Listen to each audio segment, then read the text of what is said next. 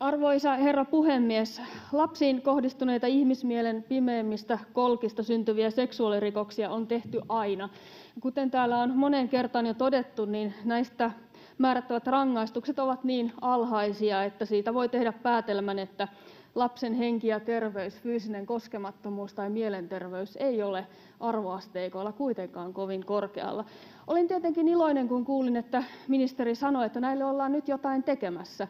Täällä on puhuttu myös suostumusperustaisesta raiskauslainsäädännöstä, mutta muistelen, kun asiaa jokin aika sitten käsiteltiin, niin täällä kyllä liberaalin rangaistuspolitiikan ja mikä ihmeellisintä, feministeiksi itsensä määrittävien suunnalta kuultiin, että rangaistuksilla ei ole juurikaan väliä ja uhrikaan ei ole niistä kiinnostunut. Haluaisinkin nyt tietää, onko tämä todella koko hallituksen linja, että lapsiin kohdistuneista seksuaalirikoksista ja muista seksuaalirikoksista on oleellista ja tärkeää korottaa rangaistuksia kautta linjan.